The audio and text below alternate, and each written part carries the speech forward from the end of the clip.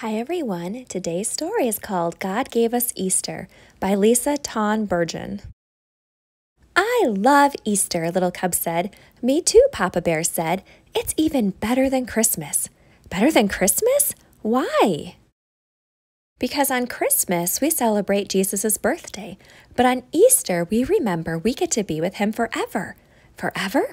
Forever. That's why God gave us Easter. Like the Easter bunny, cried Little Cub's little sister. And candy, added Little Cub's little brother. The Easter bunny is like Santa, Papa Bear said. He reminds us of gifts and happy surprises in the morning, but God is the one who gave us Easter. Easter is part of a bigger story he had in mind for a long, long time. How did God give us Easter, Papa? See this egg, Papa Bear said? It's a symbol, helping us remember. Just like the shell that cracks open and a chick comes out, we remember that Jesus was in a tomb, but didn't stay dead. He didn't? No, even death couldn't trap God's Son. He is life itself, and God loved us so much, He wanted us to be with Him always. We can see signs of His Easter plan all around us. Little Cub and Papa went on a hike. They found a big tree that had fallen over in a storm. God told his people that Jesus would come from one family. The root of Jesse, he was called. Jesse and his wife had children, and they had children, and they had children. And one of them was Jesus? Yes, little cub. All along, God knew he would give us Easter. It's sad this big old tree fell down and died, little cub said. Yes, Papa said, but when it did, it made room for new little trees to grow. See how the sun shines now without those big branches to block it?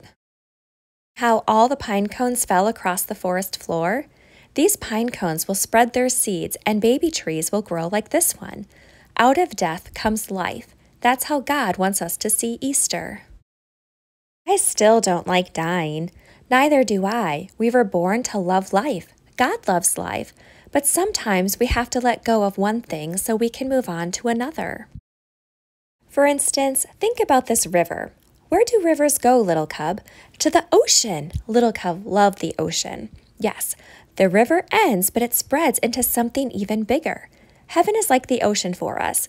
Because God gave us Easter, we can be a part of something bigger.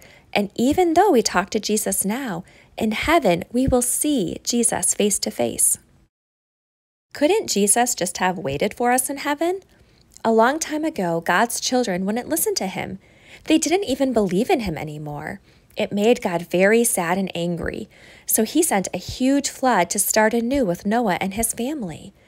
In that ark with polar bears and giraffes and monkeys and turtles.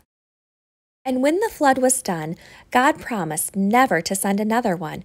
Phew, little cub said with relief. That's good. Little Cub liked water, but she liked land too. It is good. After the flood, God gave us a rainbow as a sign of his promise. But when his children, who had said they'd follow him, were disobedient again, he had to find a way to keep us all connected once and for all. God wants nothing more than to be close to us, his children. So Jesus keeps the promise we broke, little cub, and because of him, God forgives us when we make bad choices. All of us? everyone who believes in him. That's how God gave us Easter. Do you talk to Jesus, Papa? Every day, Papa Bear said, all day. Does he talk back? In a way, it's like he whispers in my heart. In your heart? I thought we listened with our ears. We do, but to hear Jesus, it takes a special kind of listening. Little Cub was silent for the rest of the walk home. She was trying to listen with her heart. She listened and listened and listened. That night, as Papa and Mama tucked her into bed, she was still listening, and as her parents kissed her and hugged her, she turned over and remembered she was God's child too. In that moment, she felt comfy and cozy and cared for, almost as if Jesus had whispered, I love you in her heart. I love you too, Jesus, little cub whispered. Thanks for giving us Easter. The next morning, Little Cub said, Papa, I think I heard God last night. You did? He said, putting his arm around her. Well, that's the best Easter present ever. What'd he say? I love you. Mm, those are good words, perfect words, and they really are what Easter is all about. Thanks for watching, everyone. Bye.